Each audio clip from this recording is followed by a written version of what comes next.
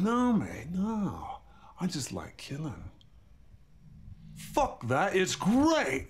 You really get to know who you are inside. I highly recommend it. But I don't have to talk to you two about killing, now do I? Because we're not strangers to it. No. The truth of the matter is, I get sexually aroused from stabbing. So why not make some wedge at it? See, it's something about the way the steel slides past the skin into that sticky, warm, wet center.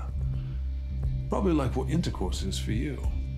The way the blood pours out and trickles down that soft white skin, sucking their life into that abysmal vacuum. Where their life fades from their eyes, like at the end of an intense climax when they sort of die inside. That's what I like. The last thing they take with them is my face.